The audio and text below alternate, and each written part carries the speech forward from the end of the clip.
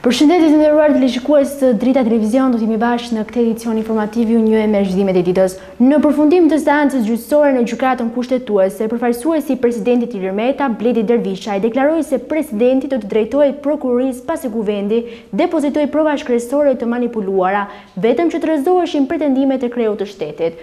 Bëhet fjalë për një provë shkresore të datës katër shkurt dy mijë e njëzet e një të dorëzuar nga Kuvendi.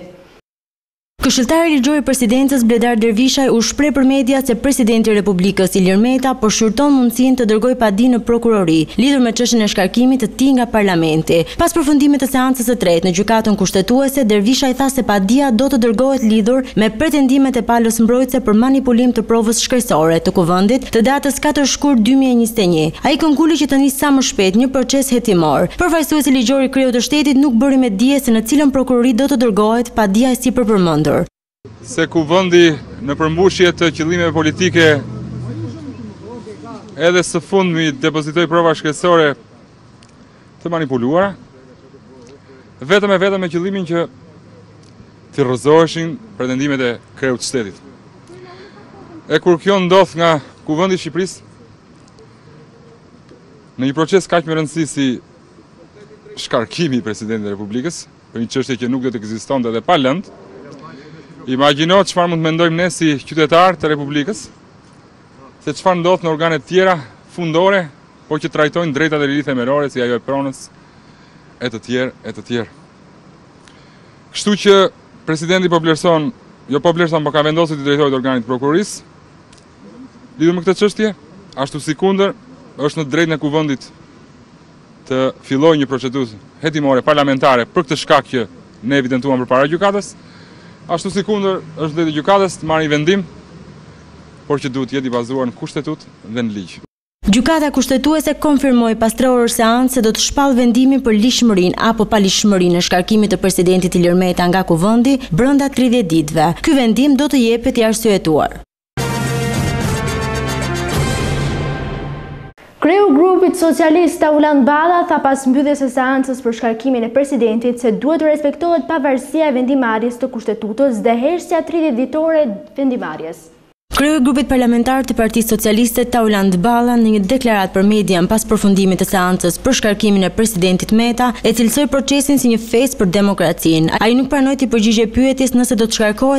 apo jo presidenti, por tha se ky ka qenë një proces i mirë dhe i shëndetshëm.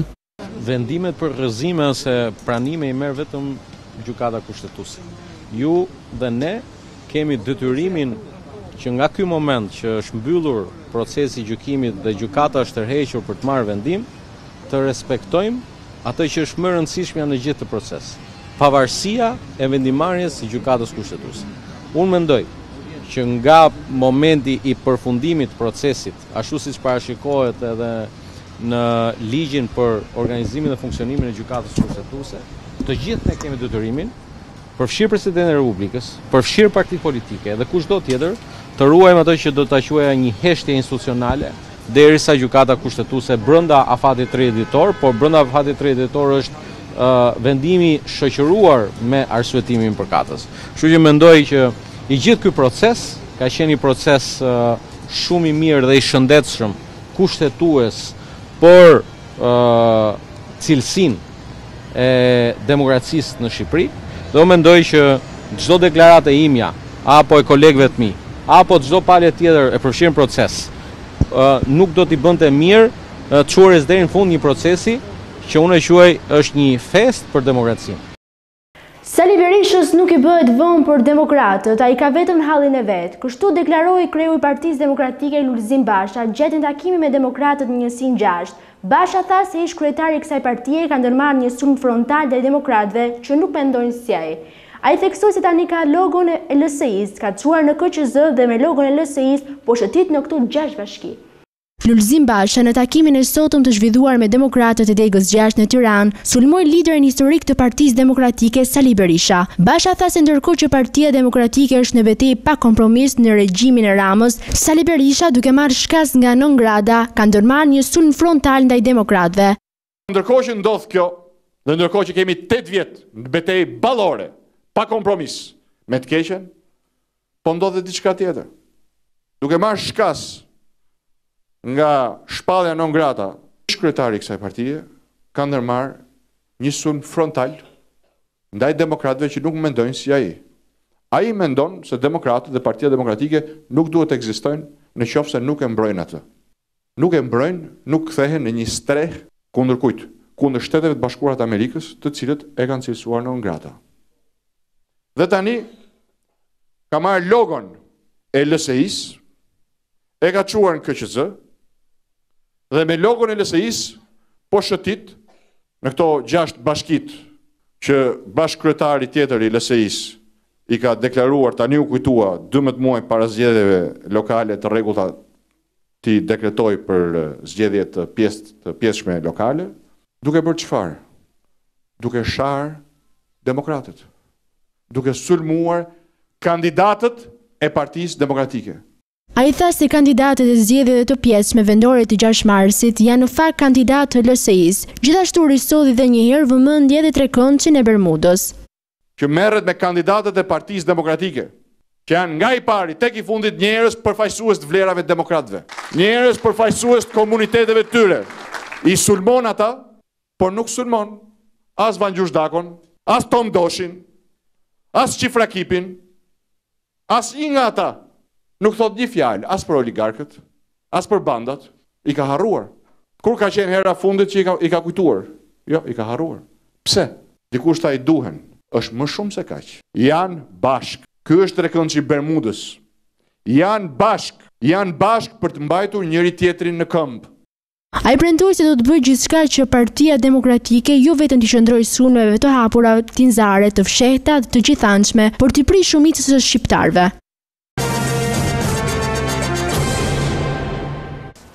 Komisioni Hetimor për Inceneratorët do të duhet të mbyllë të gjitha verifikimet brenda dy javësh. Me dakordësinë e mazhorancës, deputetët do të verifikojnë në terren investimet, por do të marrin në pyetje kryeministrin, ministrat dhe bashkiakët.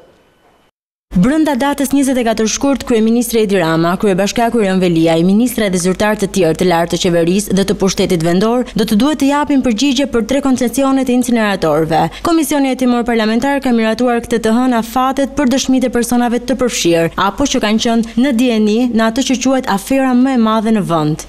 Dëshmitarët të cilët do të thriten javën e fundit të komisionit hetimor nga data 21 deri në 23 shkurt janë Edi Rama, Arben Ahmetaj, Damian Gjiknuri, Erion Veliaj, Engjëll Agaçi.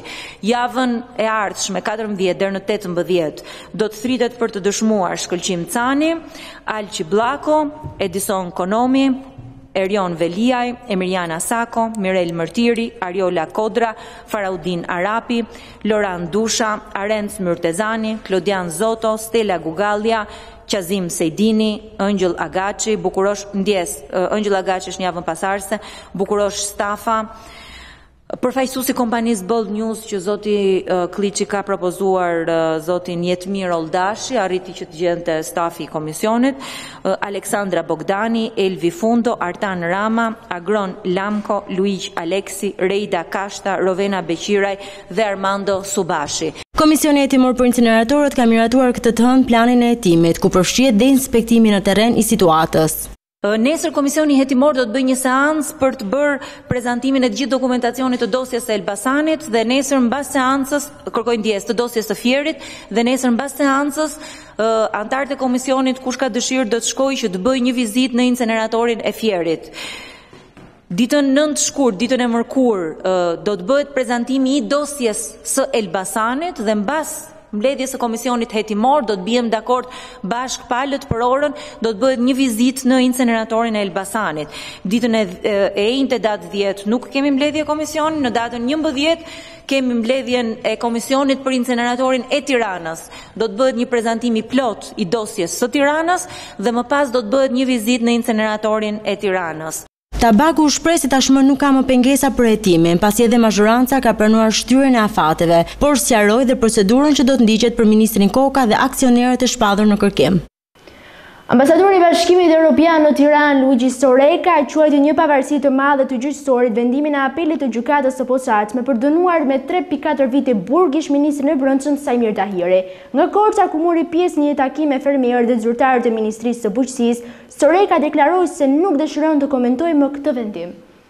Dënimin e ish-ministrit të Brendshëm Saimir Tahiri me tre pikë katër vite burg, ambasadori i Bashkimit Europian Luigi Soreca tha se është një sinjal pozitiv për drejtësinë në vend. Nga Korça, diplomati europian tha se po shohin frytet e reformës në drejtësi me gjykata të pavarura, por theksoi se nuk është mjaftueshëm pasi pritshmëritë janë më të mëdha. Por mund të themi se ta shikosh disa megjithatë nuk komentoj për procedura në vijmësi apo për çështje specifike, por mund të themi se ta shikosh disa, Megjithatë, po të shikohen disa nga vendimet e fundit të gjykatës, shihet një pavarësi më e madhe e gjyqësorit dhe ky është një lajm i mirë për gjyqësorin. Ne shohim sinjale të mira nga puna e gjyqtarëve dhe prokurorëve.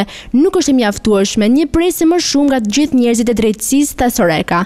Në fund ka pasur edhe një koment të shkurtër, ndonëse pa një përgjigje konkrete, Edhe për Sali Berishën, i cili është shpallur non grata nga Shtetet e Bashkuara të Amerikës, vijon të bëjë fushatë. Më lejoni të mos komentoj për zhvillimet e brendshme të një partie. Ne kemi ndjekur dhe vijojmë të ndjekim parimin e mosndërhyrjes, përfundoi ambasadori. Shtyhet gjyqi për gjyqtaren Enkelejda Hoxha, shkak është bërë mungesa e gjyqtarit Rion Çela. Ajo është arrestuar me urdhër të SPAK vitin e kaluar së bashku me nëntë persona të tjerë, të cilat akuzohen për ngritjen e një skeme përmes së cilës ulnin dënimet ose lironin nga burgu të dënuar për vepra të rënda penale përkundrejt parave.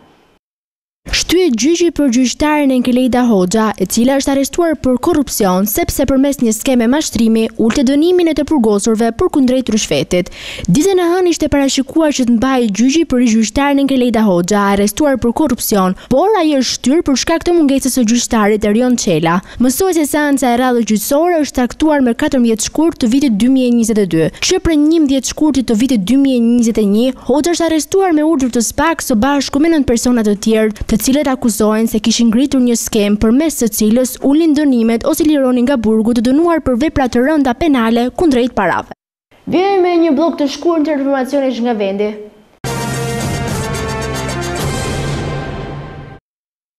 Ulen shifrat e infektimeve ditore në vendin tonë. Ministria e Shëndetësisë bën me dije se situata në njëzet e katër orët e fundit është si vijon. Janë kryer një mijë e shtatëqind e gjashtëdhjetë e gjashtë testime, nga të cilët kanë rezultuar pozitivë me virusin Covid nëntëmbëdhjetë, dyqind e pesëdhjetë e një qytetarë në këto bashki, njëqind e trembëdhjetë në Tiranë, gjashtëmbëdhjetë në Vlorë, nga pesëmbëdhjetë qytetarë në Fier, Lushnje, katërmbëdhjetë në Durrës, dymbëdhjetë në Berat, gjashtë në Mallakastër, nga pesë qytetarë në Devoll, Pogradec, Lezhë, katër në Përmet, nga tre qytetarë në Gramsh, Poliçan, Sarandë, Delvinë, Kurbin, Mirditë, nga dy qytetarë në Fushë-Arrëz, Vorë, Kavajë, Bulqizë, Roskovec, Tepelenë, Memaliaj, Skrapar, nga një qytetar në Kolonjë, Dropull, Gjirokastër, Dibër, Tropojë, Has, Kukës. Janë dymbëdhjetë mijë e gjashtëqind e gjashtë pacientë aktivë me Covid nëntëmbëdhjetë në të gjithë vendin. Aktualisht në spitalet Covid po marrin trajtim njëqind e njëzet e gjashtë pacientë, nga të cilët tetëmbëdhjetë janë në gjendje më të rënduar. Në njëzet e katër orët e fundit ka shtatë humbje jete me SARS-CoV dy pozitiv, një qytetar nga Himara, gjashtëdhjetë e pesë vjeç, Një qytetare nga Korça gjashtëdhjetë e gjashtë vjeçe,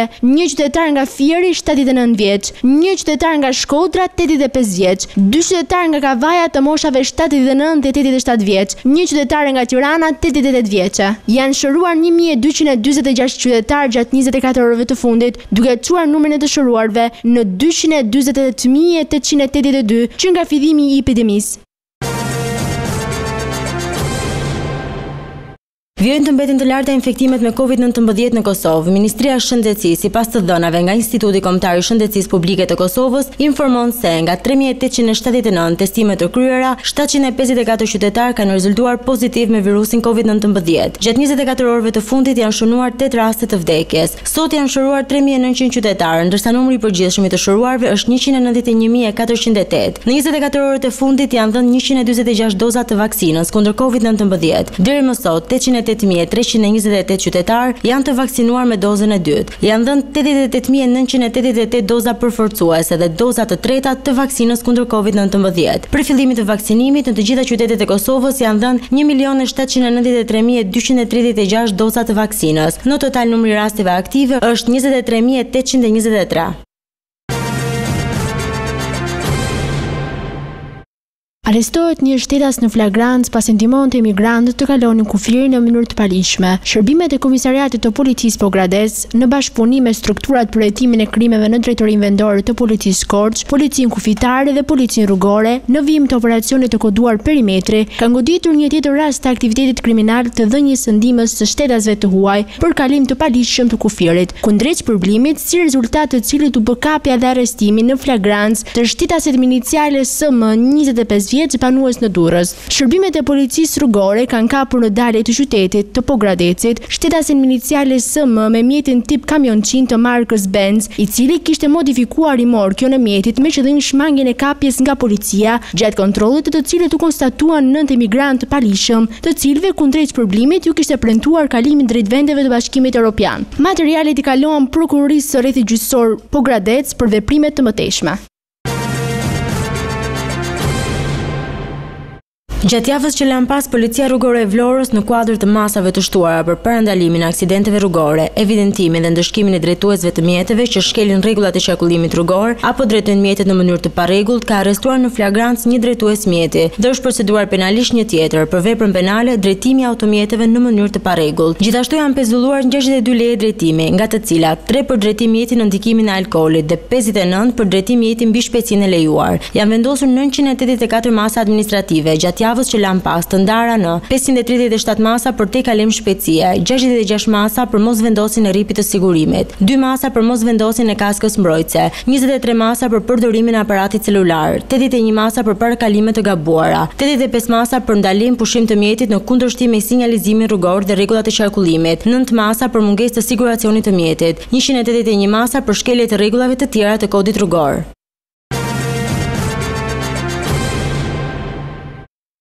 Kanosi me armë zjarri dhe qëlloi drejt nënës së tij, kapet dhe vihet në pranga dyzet e një vjeçari, i cili ishte dënuar më parë për armbajtje pa leje. Gjithashtu është shpallur në kërkim dhe shoku i tij, sepse gjatë kontrollit të banesës së këtij të fundit u gjet një armë zjarri dhe kanabis sativa. Gjithashtu u sekuestruan dy armë zjarri, pistoletë, fishekë luftarakë dhe lëndë narkotike. në fshatin Dushk, një shtetas ka kanosur për të vrarë nënën e tij, si dhe ka gjuajtur me armë zjarri në oborrin e banesës. Shërbimet e Komisariatit të Policisë Lushnje kanë arrestuar dyzet e një vjeçarin me iniciale EK, i cili në momentin që ka parë policinë, është larguar menjëherë, por është arritur të vihet në pranga dhe është sekuestruar arma e zjarrit pistoletë me fishek në fole gati për qitje me një krehër me fishekë luftarakë. Gjithashtu në vijim të veprimeve hetimore të kryera nga policia, ushtrua kontroll në banesën e shtetasit me iniciale AZ, me të cilën autori shoqërohej. Gjatë kontrollit të banesës së shtetasit, u gjetën dhe u sekuestruan në cilësinë e provës materiale një armë zjarri pistoletë, dyzet e gjashtë fishekë luftarakë dhe një sasi lënde narkotike Cannabis Sativa. Në përfundim të veprimeve, specialistët për hetimin e krimeve në Komisariatin e Policisë Lushnje bënë arrestimin në flagrancë të shtetasit me iniciale EK, dyzet e një vjeç për veprat penale, mbajtje pa leje e armëve dhe municionit luftarak, kanosja, si dhe shpallën në kërkim dhe po punojnë për kapjen e shtetasit me iniciale AZ, gjashtëdhjetë e pesë vjeç, banues në Dushk, për veprat penale, mbajtja e armëve pa leje dhe municionit luftarak dhe prodhimi e shitja e narkotikëve. Materialet do t'i kalojnë Prokurorisë pranë Gjykatës së Shkallës së Parë Lushnje për veprime të mëtejshme. Të nderuar teleshikues të Drita Televizion, kjo ishte gjithçka e përgatitur në këtë edicion informativ. Bashkë do takohemi në edicione të tjera informative. Deri atëherë, mirutakofshim.